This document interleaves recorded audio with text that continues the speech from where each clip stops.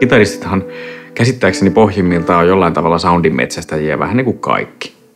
Ja kaikki on vähän niin kuin höyrähtänyt siihen, että miten, ja, ja tutkitaan niin kuin loputtomasti sitä, että miten saan aikaiseksi tämän soundin, joka soi päässä.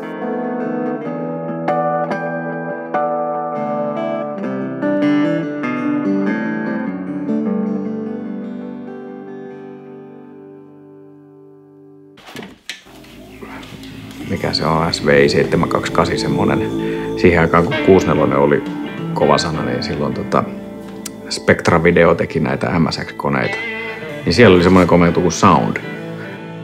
Ja sitten se yhtäkkiä soitti. Eihän mulla mitään tajua, että missä järjestyksessä niiden sävelien niin kuin pitäisi olla. Mutta kun sieltä tuli ääni, niin se oli ihan huikeeta jotenkin. Sitä pelimusiikkia mä aloin niin kuin matkimaan että, että tällainen tämä oli tehty tuossa pelissäkin, niin miten tämä toimii tässä trackerissa. Ja rupesin tekemään biisejä ja se oli, niin kuin, se oli todella addiktoivaa hommaa. Että monta kertaa kävin tuossa vanhalla Vitsielän tiellä niin lenkilläkin ja en ollut ehtinyt kuin puoli kilometriä juoksemaan ja tulee joku idea päähän ja oli pakko juosta takaisin vaan ja laittaa se idea ylös, koska ei voi olla laittamatta, kun se unohtuu sitten saman tien. Tuolla pitkin kansikuvia poseeraa supereläkeläisiä Tarja Halonen, Elena Ranta, Teatterikapellimestari miettii ohjaajan kanssa koko esityksen musiikillisen kokonaisuuden, kirjoittaa nuotit, sovittaa ja tietyissä tilanteissa myös säveltää kappaleet. Aina sillä kappaleella on joku funktio sen näytelmän suhteen. Täytyy kaikki ajatella jonkun tunnetilan tai jonkun tilanteen kautta tai miettiä, palveleeko tämä parhaiten esitystä – Siinä on niin paljon erilaisia asioita, että se tekee siitä loputtoman mielenkiintoista sitä jutusta, mutta myöskin se, että sitä pystyy koko ajan oppimaan lisää.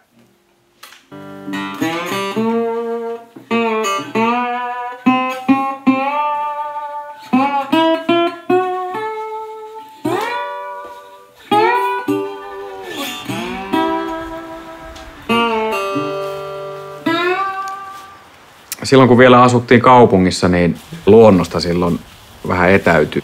Mutta sitten kun muutettiin taas tänne maalle, niin mä huomasin, että on monenlaisia ääniä, kuten esimerkiksi tuulen suhina lehdissä. Se on hirveän rentouttava ääni.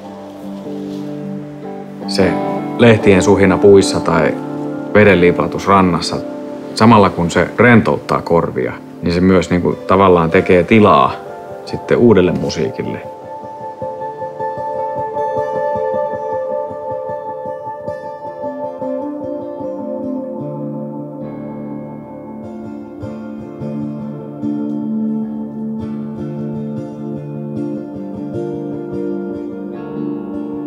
Tyylien kirjon sekoittaminen omaksi tyyliksi soittaa. Vaati mulla varmaan sen, että mä kyllästyin, kun plektrat putoili mun sormista pois. Mä että ei tämä mun soittoni voi olla yhden niin kuin muovin kappaleen niin kuin vastuulla. Jolloin mä heitin sen menemään sitten yhteen vaiheeseen ja rupesin soittamaan pelkästään sormin.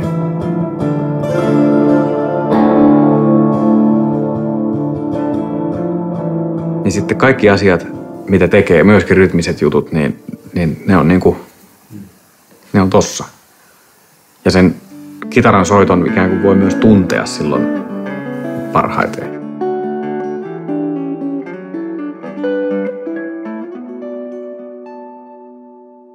Ja sitten just se, että kun osuu laitteistokokoonpano ja soitin ja vahvistimet ja systeemit kohdalleen, niin sitten se ihan vaan se, että nyt, nyt on, nyt on niin kuin soundi kohdillaan.